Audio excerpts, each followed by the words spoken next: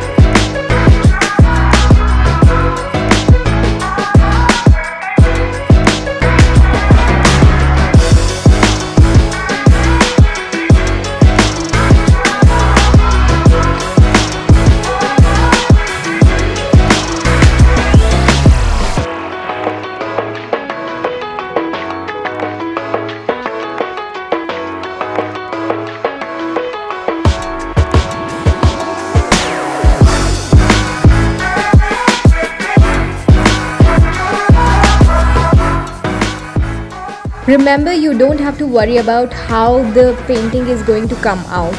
We are doing it as a therapy.